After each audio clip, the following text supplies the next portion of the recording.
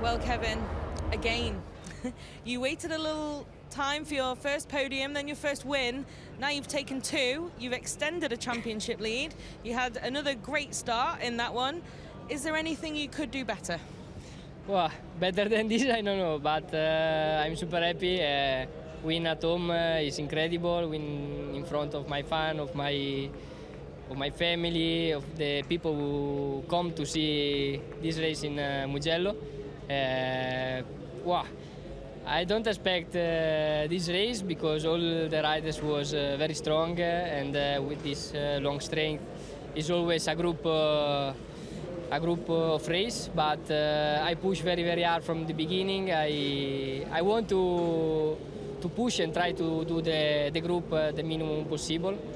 And I try and I, I do so I'm super happy. And last lap was only push uh, first race uh, was perfect so I need to concentrate for the second and try to repeat this Congratulations. thank you So, Mattia, some points went begging in Barcelona, and after you'd been still pretty quick there, but this weekend, back on the pace again, but more importantly as well, back on the podium.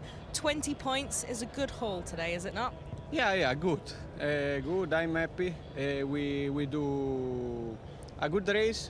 I do a, very good braking in Tar 1, but I go a little bit wide and Kevin overtake me again. But after there is another opportunity, uh, for sure, uh, I try to do my best and see, see what happens. And we'll see in race two. You've got another chance. Well, race one. Uh, race one, we, we recover race one. I try in race one.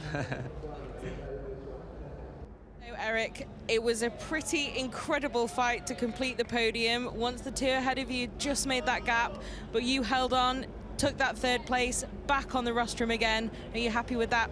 Yes, I'm very happy. It was a crazy race. Uh, in the first lap, I was not in the best position.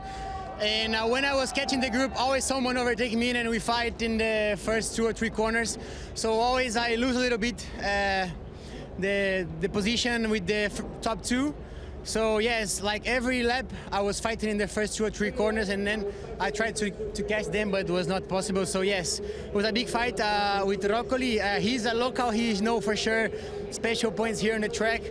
He's uh, a legend here on the track, so I'm happy that uh, I could be back on the podium, and I will do my best also again in the race two to be here again and enjoy the, the, the really nice day we have here. So yes, thank you to the team, two riders in the Parc Fermé. So this is amazing.